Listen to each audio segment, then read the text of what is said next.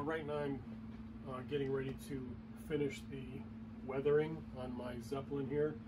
Um, once the weathering is done, uh, then I'm going. The last thing I'll have to do is uh, do a little bit of a paint job on some of the areas where I used the uh, glue gun, and at that point, uh, this model should be done.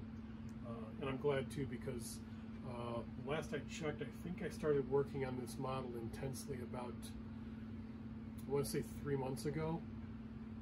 Uh, it's been a lot of work uh, cutting out all these plastic pieces from the pizza boxes that we saved. Uh, kind of paid off, but like I said, it's been a lot of work. I'm be glad when it's done. Uh, but I like the way it's turned out, so I'm pretty happy with it. So anyway, I'm going to get back to uh, working on it so I can finish it.